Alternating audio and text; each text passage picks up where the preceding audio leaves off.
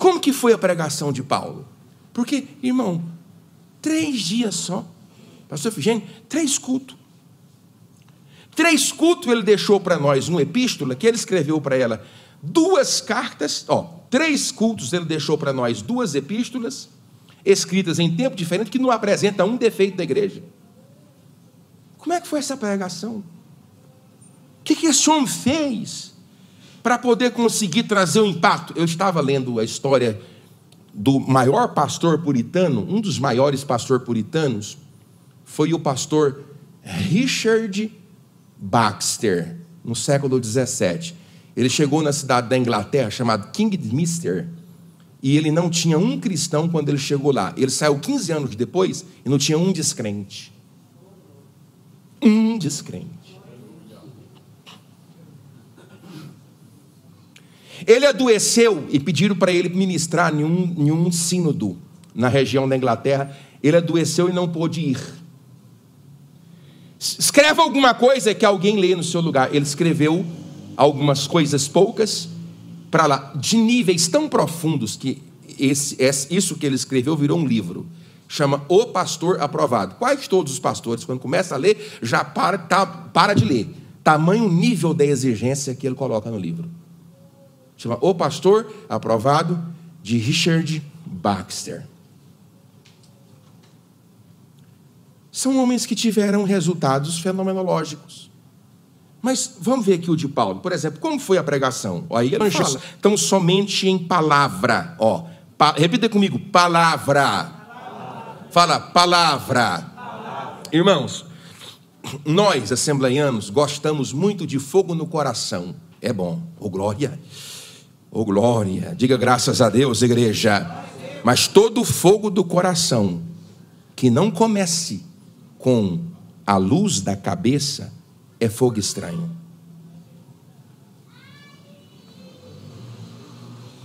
E tem que tomar cuidado. Olha para mim, é fogo estranho. O fogo do Espírito Santo, ele não começa no coração, ele começa na mente.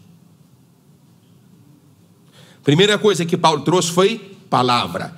Uma pregação centrada na palavra de Deus. O pregador pega a Bíblia, abre o texto, lê o texto, vai embora do texto, faz uma viagem astral, nunca mais volta para o texto e nós ficamos a perguntar por que, que ele leu o texto que ele não pregou.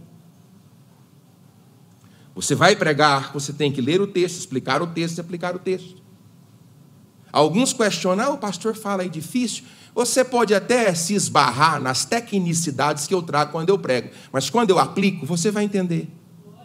Se você suportar 15 minutos sem a necessidade de sentir no coração que eu estou falando da tua cabeça, porque o que eu falo na tua cabeça, tu não vai sentir no coração. Como que você quer sentir no coração aquilo que eu não estou falando ao coração? Quem fala ao coração é o Espírito Santo. Quem fala aos seus ouvidos sou eu. Mas você precisa entender o que está sendo dito porque todo fogo que se evidencia dentro da igreja, que não tiver luz na cabeça, é fogo estranho. Palavra tem que ser exposta. O povo tem que assentar, doer a cabeça, olhar para o pastor e falar: hum, como é que é? Deixa eu anotar que eu estou esquecendo. Hum, aí me pegar ali, pastor, esse negócio aí me ensina, e voltar para tua casa, pega a Bíblia para ler. Você tem que se esforçar, porque ler é um exercício. Ler é um exercício. Você tem que tentar pegar a Bíblia. Por que, que ele escreveu isso? Para quem que ele escreveu? O que, que eu tenho que entender? Então, a pregação de Paulo começou com a palavra. Segundo lugar, mas sobretudo em poder, uma pregação revestida de poder. Porque toda e qualquer pregação que não provoca mudanças de comportamento, só luz na cabeça, aí já não é pregação. A pregação cumpre os dois papéis. Ela fala a mente para provocar uma metanoia, uma transformação de entendimento. Aí isso vai desembocar numa metamorfose, que é uma, uma, uma alteração de comportamento. Você pode até não ver um milagre extraordinário, mas você mentir não mente mais. Poder da palavra de Deus. Você roubava, não rouba mais. Poder da palavra de Deus. Tu não suportava essa tua mulher enjoada, esse teu marido enjoado, agora tu suporta. É o poder da palavra de Deus. Tu pensava em abandonar esse casamento e agora tu está nele. É o poder da palavra de Deus, resultante da pregação da palavra palavra tem que produzir na pessoa isso. Paulo disse assim: Eu preguei pouquinho, preguei três vezes, mas foi poder de Deus que transformou o vosso comportamento. Você pode levantar a sua mão e dizer glória a Deus? Terceira coisa aqui, pastor Efigênio, no Espírito Santo e plena convicção, uma pregação marcada de profunda convicção. Lembra daquele ator do século XVI que falava mentiras e o povo ia loucura, e o pregador falava a verdade, o povo se derretia de pavor e de angústia, e o pregador procurou o ator e disse assim: Por que, é que você fala mentira? O povo vai às nuvens, eu falo a verdade, o povo desanima, desmotiva, e o ator diz para o pregador: É simples, pastor, porque eu falo a mentira como se fosse verdade, e o senhor fala a verdade como se fosse mentira. Todo pastor e pregador tem que acreditar acreditar naquilo que ele está pregando. Esta é a palavra de Deus e ela tem poder para mudar a história da sua vida pelo poder do nome de Jesus. Quem entrou enfermo vai ser curado. Quem entrou caído vai se levantar. Quem entrou doente vai ser transformado. E o nome de Jesus há de ser glorificado nesta igreja. Você pode dizer amém? Eu não disse que eu estou romântico igual Paulo hoje.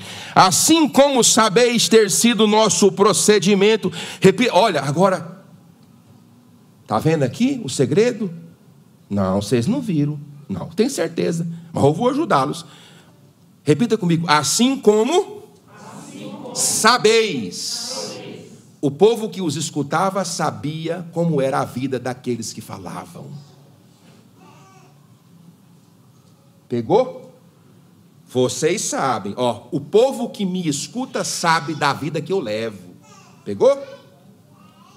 Pegou? Esse pregador pentecostal fala, só para esse lado. Uh, só para esse lado. Não, é para esse lado, você não entendeu? Não, não precisa não. Entendeu? Ele disse, ó, não, vamos ler, vamos ler. Assim como sabeis ter sido o nosso procedimento entre vós por amor de vós. Paulo está falando assim, ó, você, o grande parte do poder que se categorizou na minha pregação entre vós, exercendo o ministério, foi porque nós vivenciamos o ministério. Falando de amor, foi porque nós vivenciamos o amor. Vocês que nos escutavam enquanto pregavam, sabia da vida que nós vivíamos enquanto ministrávamos sobre vós. O povo tem que saber a vida do pastor. Esse rapaz não está mentindo. Irmão, numa cidade, do, do, no, lá no interior do Goiás, irmão, olha para mim. Foi um pregador na igreja. Ele virou a igreja de cabeça para baixo. Meu Deus, o povo saiu da igreja e disse: agora nós achamos o homem. Agora nós achamos o homem. Aí ele se hospedou num hotel que tinha uma, um quarto que dava para o fundo da casa de uma irmã, fumando e tomando cachaça.